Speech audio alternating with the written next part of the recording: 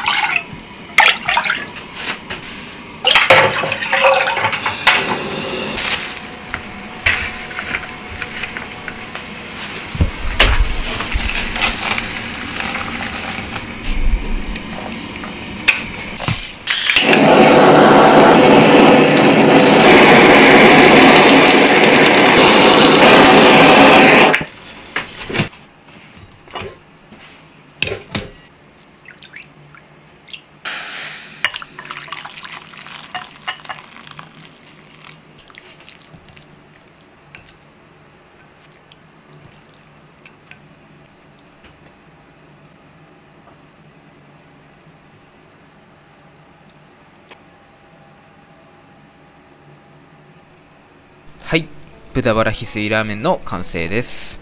非常に美味しく仕上がりました。だいぶうまいですね。ソースはほぼネギの味です。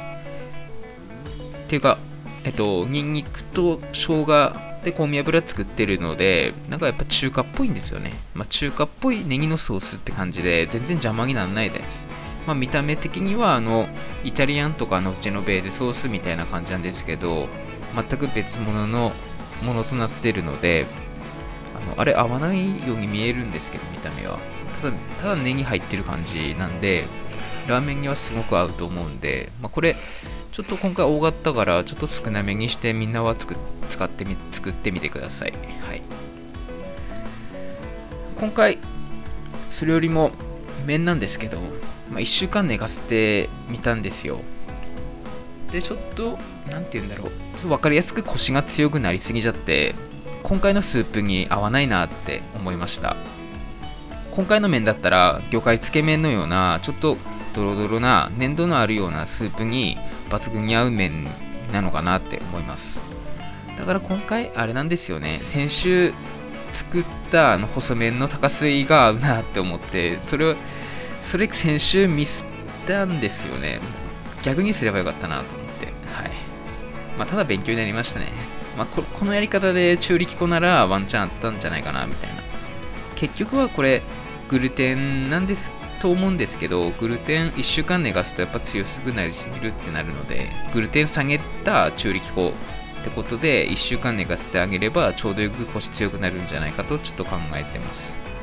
まあ、結局こういうスープにはそんな寝かさずに当日作ってそのまま手もみしてそのまま茹でるのが無難無難っていうか美味しいんじゃないかなってます。うどん屋さんとかってやっぱり当日作った麺でみたいなもあると思うんで、まあ、ラーメンだからやっぱ寝かしたくなるのはあるんですけど、まあ、それは臨機応変に作んないとなみたいな。やっぱラーメンっていろんなバリエーションがあるんでそのスープとかタレに合うように麺も作ってあげないとなと思いましたね。